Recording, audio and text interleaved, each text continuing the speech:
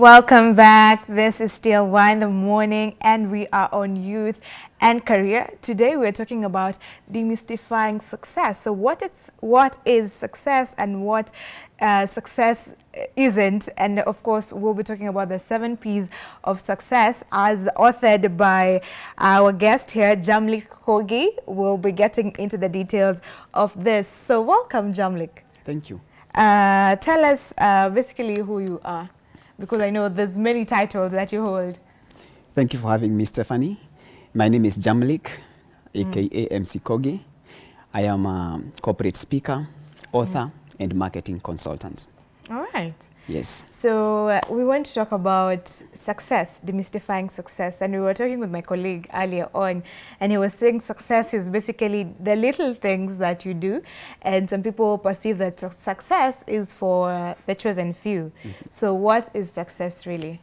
Well, according to me, success is a journey. You never really reach there or arrive. And one of my favorite quotes to do with success is success is about uh, making progress every hour, every day, and every year. And I agree with your colleague who you are speaking with that it's about the small things, making the small strides towards the ultimate goal that you have in okay. life. So it's the small things, but you have an ultimate goal that you want to achieve in life. Sure. So success is it's not for certain people. Venye watu wanasemanga uh, we mwaka futa tusaidia, you know, some people perceive uh, that they can't be successful in life, and uh, to them success is only for when you're rich and you're maybe famous or you have you have it all together. Well, we have uh, different destinies and paths. So success may mean different to uh, different things to different people. Mm. Like if you're a scholar, maybe you could look at the day you achieve your PhD, perhaps that is the highest you could go. Mm. That could be success to you. If you are um, an entrepreneur, um, the day maybe you reach a turnover of let's say a million a month, maybe that could be success to you, uh, and so on and so forth. So it differs from one person to another depending with the goals they have in life. And how would you describe a successful career now that we are talking about career? Well, first it will come with um, fulfillment. When you are growing up, you know, of course, when you are growing up, many mm -hmm. people used to say, uh, you know, the generic uh, aspirations. You want to become a doctor, you want to become a lawyer, you want to become an engineer. Although that has changed with time, people are now more exposed. mm -hmm. So, a successful to be successful in career is really to achieve that you aspired uh, when you are young, and it has to be in line with your strengths. mm -hmm. So according to me, uh, when you really go for it and achieve it at the end of the day, then you'll have uh, reached the ultimate of your career. The ultimate goal. Yes. All right. So let's go into the tools of success, or maybe we can call it the seven P's of success. Can we relate them to tools of success? So how do you like to describe it? Well, mm, demystifying success, I um, simplified it into a book, which is uh, the X Matrix that highlights the seven P's of success. And uh, these seven P's include um, purpose. The second P is um, plan. The third P is pursue. The fourth P is persistence. Uh, the fifth P is positive attitude. The sixth P is passion. And the seventh P is people. People. Yes. All right. And on the you know the first page, the cover, uh, you've said good intentions will be recognized, hard work will be praised, but only uh, but only results will be rewarded. Expound on this. Well, uh, that is one of the P's actually, which should be pursue. Okay. Uh, in project management, we talk of JDI, just do it. So we make, uh, like, if I may put this in, into the context of business people, where we have an entrepreneur, somebody who wishes and keeps saying that one day I'll begin my venture, I'll begin my business. We move from that to become now an entrepreneur, where now instead of talking one day, we now move to day one and start executing it. That's where now the quote was inspired, where uh, that idea of aspiring uh, to like have a business, good intentions, those are, those are good intentions, they'll be recognized. Okay. Hard work, you know, um putting together strategies, uh, hard work will be praised, but only results will be rewarded. At the end of the day, uh, like you asked earlier, uh, what, how will you consider yourself successful in your career? It's when you actually reach there, so to speak. It's when you actually um, arrive there, so to speak, although you never entirely arrive there, but making that progress and getting results. I may add this and talk of um, there's actually a difference between doing something and getting something done. Okay, tell us about that. A difference between doing something Yes. and getting something done. Yes. For instance, we are getting something done, Stephanie, right here. We are empowering Kenyans in this conversation. They are, they, they are learning a thing or 2 So, doing something, you can be in a vehicle, let's say I'm a matatu. Uh, from uh, Karen maybe to, to town or in an Uber in that case because watu wa Karen uh, so uh-huh. yes and uh, you grab the paper of the driver and you are perusing it. You are doing something. You are just perusing the paper. But someone else from Karen again to town is holding the paper in another Uber but instead of just perusing the papers they are reading the headline and noticing there is a new word and they learn about it they go ahead find the puzzle they solve it so they are getting something done they are getting value instead of just passing time that's, wow. it. that's the difference So you get value out of everything you do. That's getting something done. yes Wow, amazing. and getting results And getting results. So that's basically, we can summarize that's what success is when you get results correct out of your goals. So now, where does, uh, from all the P's, where does success begin? Which P do we start with? I, th- I think we should be start from the first P, which is purpose. Purpose. Yes, basically purpose is um, from where I sit. Uh, it's the reason why you are born, the reason why uh, you exist. What do you aim to achieve in life? What are your goals? What are your aspirations? And for you to realize your purpose, you need to begin with uh, self-awareness, which is basically uh, seeing the ability to see yourself clearly. You know, understanding who you are, how others view you, and how you interact with the world. Okay. And uh, briefly, I can mention some of the ways you can become self-aware uh, so that you know what your purpose is. Yes, because you know many people struggle with knowing their purpose, Yes. and uh, it is said that once you know your purpose, life becomes easy because Correct. you're doing what you love and what you're called uh, in this world to do. So how do you become self-aware? Well, um, to become self-aware, the first thing is, um, and I've done this myself practically, I call it trial and error. You basically try things out. Like uh, when I was at the University of Nairobi, I never knew that I could become a professional storyteller, but I saw a notice and decided, well, let me try this out. And uh, we competed with the 10 others, and I became the first one at uh, Lower Kabete campus.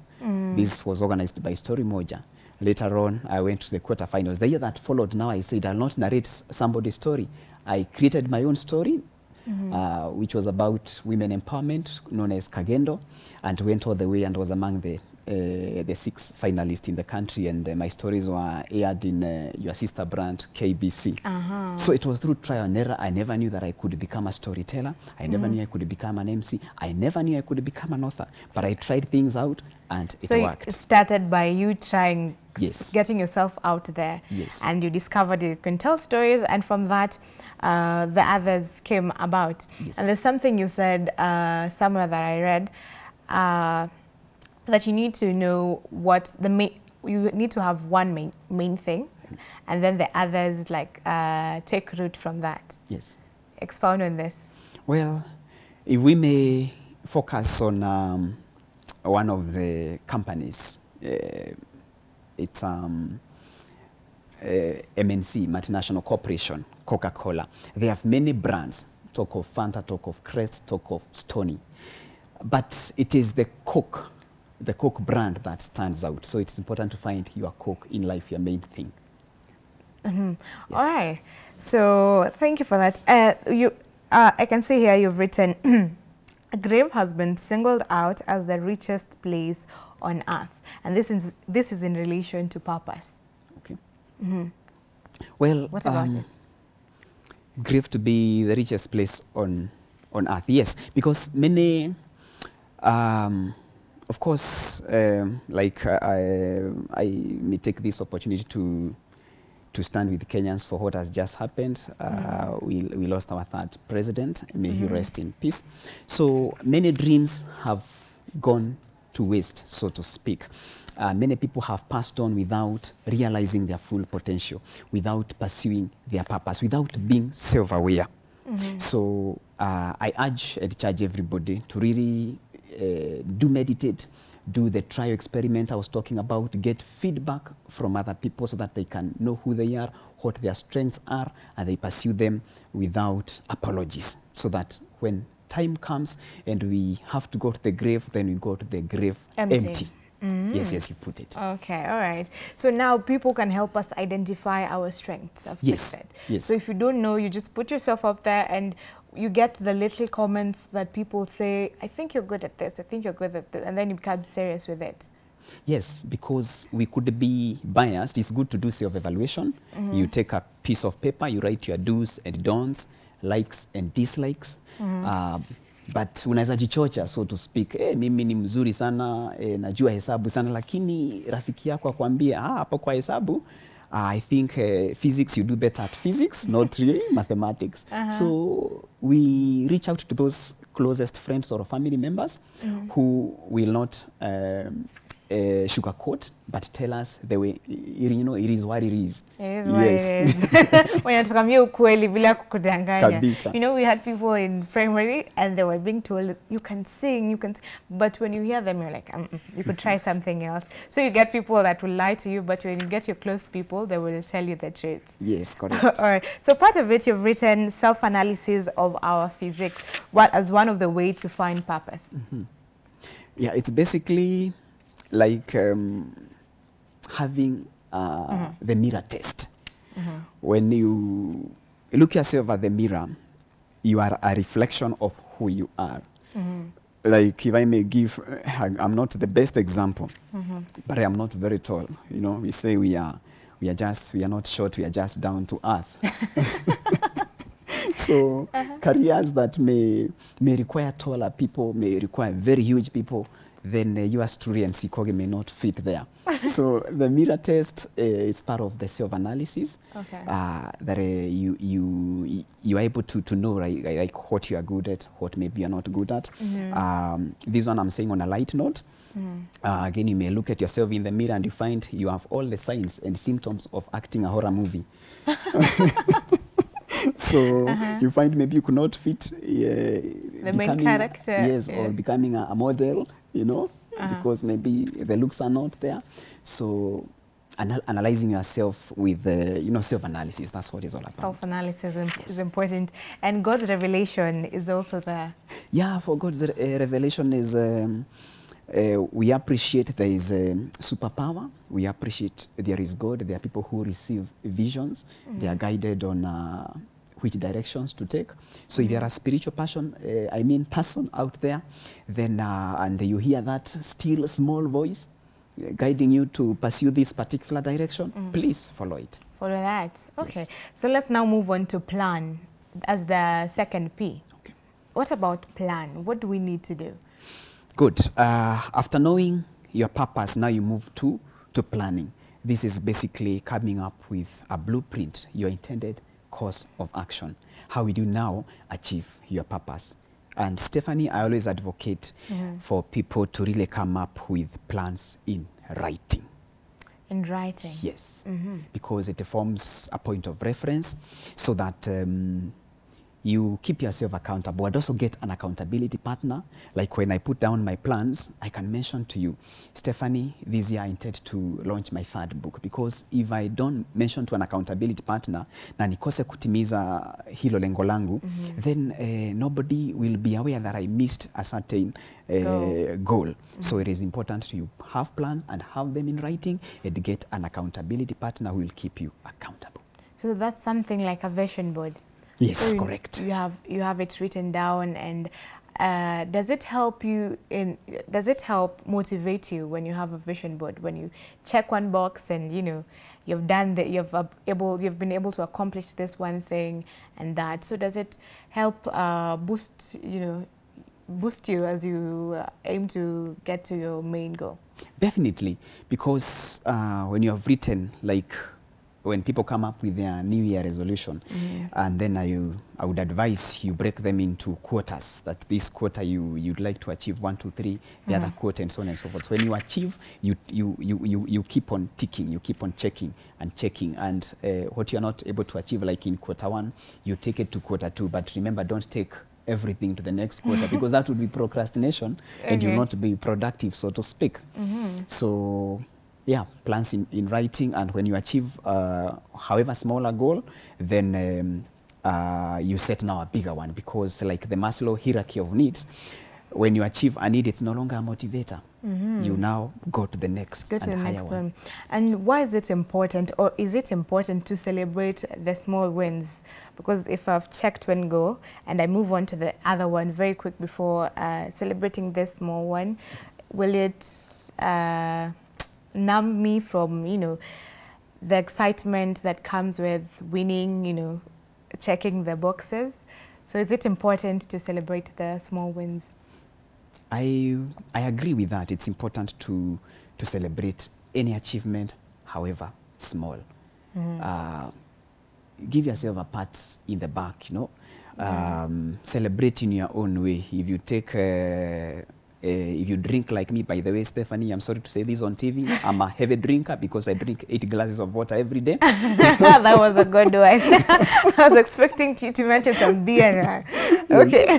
so whichever way you, you you find joy and fulfillment, if it's uh, having a dance, if it's throwing uh, a good party, please do to celebrate each milestone, just like the way students do have graduation. Even in your own way, in um, if it's business, you have exceeded like targets. Treat your staff. Okay. Celebrate that small Celebrate goal. the small wins. Yes. Okay, let's move on to the next one. What's the other P, the third one?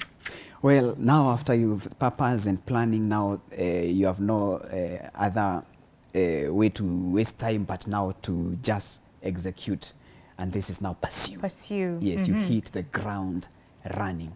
In project management, as I mentioned, we talk of JDI. Just do it because uh, in business uh, we talk of I want a entrepreneur. One day, I want to begin my business, but now you move from that to day one and start uh, uh, that business you have been talking about, pursuing it. That is uh, the third P, getting the- things done now. Getting things done. Yes. So how do how do you avoid procrastination? Because you might have that plan, everything in set. You have uh, this one I want to achieve by this date, but now we have a problem with procrastination, and a lot of people have that. So how do you break from pro- procrastination? I would go with uh, being with uh, self-disciplined and having self-drive, kujituma, you know, uh, because um, in this life, as you you and I know that we we have our aspirations, we have our destiny, but it will be incumbent upon each and every individual to take it upon themselves to really begin their journey of trans, uh, transformation. It is getting up every day despite the discouragements we had yesterday, that yesterday did not work out. Uh, we still keep waking up, we still dress up and rise to the occasion. Mm -hmm. So it has to come from within. In fact, I, uh, I stopped uh, calling myself as a motivational speaker. Mm -hmm. People, I'm a transformation speaker. Transformation speaker. People should really uh, motivate themselves. Okay. They should not wait for an external party to come and motivate them. Especially with the current times where things are a bit hard and you know someone might uh, not have a job but you know it's hard to wake up but you still wake up. Someone i had someone say you need to wake up you need to dress up and just be there. If you're being there and look for something to do instead of just sitting there or just having your dull clothes it's important to to just show up for the day Sure. right Yes. Okay, and here you've said that worry and fear may uh, try to stop you when you are when you do a reality checks and it dawns on you that you may not have the right tools and resources for the tasks ahead. So speak to us about about fear and uh, imposter syndrome too. Fear is really one of the deterrent, uh, one of the things that stops people from realizing their goals and achieving what uh, they aspire. There's, there is, um, there is the fear of the unknown. And uh, my encouragement would be to look at fear as uh, instead of um, for, uh, forget everything and run, you look at fear as face everything and rise. Face everything and rise. Yes. So you have to face your fears. Uh, like uh, one of the challenges of uh, people face when beginning a business is how to raise capital. But you have to overcome that fear by, by you know, uh, finding ways on how to raise that capital, maybe friend raising, reaching out to friends, uh, whether it's asking for donations. Yeah, so you have to face that fear head on, overcome it because your success lies on the other side of The it. other on the other side of fear. Yes. So let's take a short break and we'll come back and uh, you'll tell us about the imposter, imposter syndrome because some people really are gifted but they're really afraid to step out there and do something great. So let's take a short break and we'll be right back. The hashtag to use is Y in the Morning at Y254 channel at Stephanie Ayeta or at Ram Agogo.